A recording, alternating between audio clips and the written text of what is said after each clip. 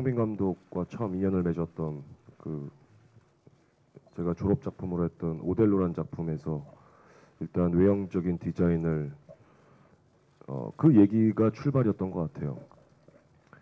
어, 그러면서 반대로 어, 약간 모자란 어, 10대 초반의 지능을 가지고 있는 어, 그러한 남자, 지극히 평범하고 어, 소박한 삶을 살고 있는 그랬을 때 어, 어떻게 변화를 줘야겠다라기보다는 어, 이러한 거친 야성적인 남자가 어떻게 하면 관객에게 어, 공감대를 형성할 수 있을까?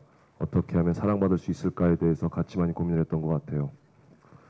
어, 그랬을 때 그 여동생 곡지와의 관계, 어, 그러면서 그러한 것들을 차근차근 고민을 하면서 준비를 하고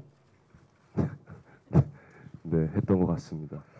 네, 우선 저는 뭐, 뭐 조연 캐릭터 맡은 배우로서 그냥 뭐 저랑은 전혀 상반된 캐릭터 하고 있는 형 캐릭터도 되게 부러웠기도 했고요. 저도 되게 해보고 싶다라는 생각도 들었었고 그리고 또 한편으로 정말 형 머리 밀고 막 분장 그렇게 하고 있고 이러면 가끔 보면은 아 정말 참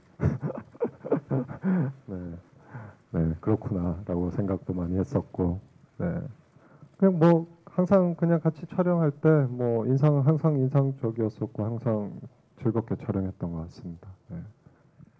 일단 머리를 미는 순간 포기를 다 했습니다. 저는 뭐 네, 시나리오를 딱 봤는데 어, 이건 뭐 어떻게 꾸며봤자 또 동원 씨랑 같이 나오는데 제가 아무리 애를 써봤자 어, 이건 뭐 안 되는 게임이기 때문에 어, 철저하게 어, 재미를 좀 드려야겠다 캐릭터의 재미를 그래서 음, 끝까지 어, 아무리 그 돌무치에서 도치로 어, 변화되는 과정에 있어서 겪는 그 돌무치의 상처가 분명히 영화를 끝까지 끌고 갈 수 있는 어떤 그런 명분과 그런 한이 되는 거지만 그것을 조금 더 음, 가볍게 어, 무겁지 않게 표현을 해야겠다라고 생각이 생각을 했었고요.